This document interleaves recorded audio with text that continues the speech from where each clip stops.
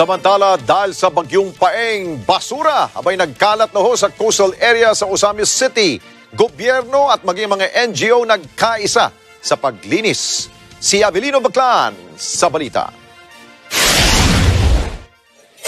Dahil sa pananalasa ng bagyong paing sa iba't ibang bahagi ng Pilipinas at ito ay tumama rin sa ilang bahagi ng Mindanao kung kaya maraming basura ang naipon sa mga dalampasigan. Agad namang nagkakaisa ang ilang mga government agency at non-government organization o NGO sa paglilinis. Katunayan nito, higit kumulang isang daang sako ng mga basura ang nakokolekta nito.